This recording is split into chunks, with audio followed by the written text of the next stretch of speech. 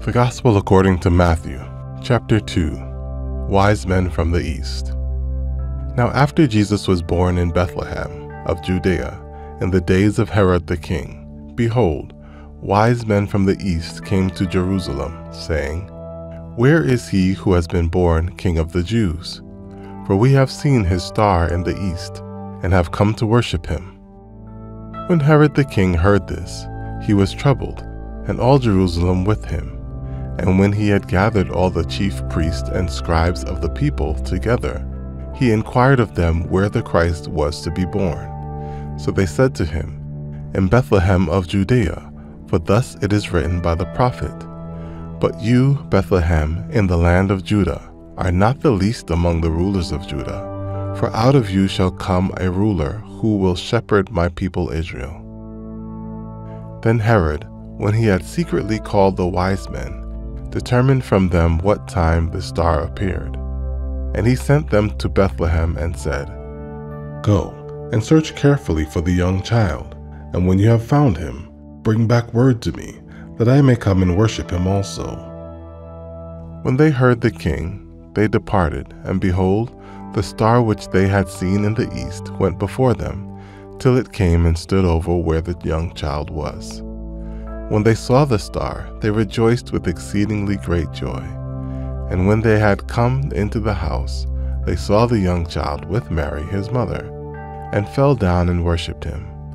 And when they had opened their treasures, they presented gifts to him gold, frankincense, and myrrh.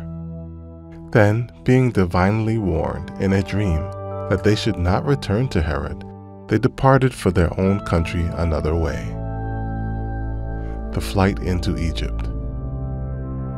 Now, when they had departed, behold, an angel of the Lord appeared to Joseph in a dream, saying, Arise, take the young child and his mother, flee to Egypt, and stay there until I bring you word, for Herod will seek the young child to destroy him. When he arose, he took the young child and his mother by night and departed for Egypt, and was there until the death of Herod that it might be fulfilled, which was spoken by the Lord through the prophet, saying, Out of Egypt I called my son. Massacre of the Innocents.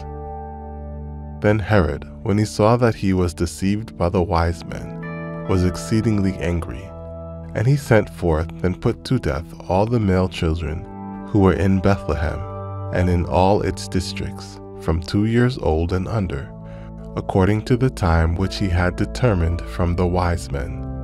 Then was fulfilled what was spoken by Jeremiah the prophet, saying, A voice was heard in Ramah, lamentation, weeping, and great mourning, Rachel weeping for her children, refusing to be comforted, because they are no more. The home in Nazareth. Now when Herod was dead, behold, an angel of the Lord appeared in a dream to Joseph in Egypt, saying, Arise, take the young child and his mother, and go to the land of Israel, for those who sought the young child's life are dead. Then he arose, took the young child and his mother, and came into the land of Israel. But when he heard that Archelaus was reigning over Judea instead of his father Herod, he was afraid to go there. And being warned by God in a dream, he turned aside into the region of Galilee. And he came and dwelt in a city called Nazareth, that it might be fulfilled which was spoken by the prophets He shall be called a Nazarene.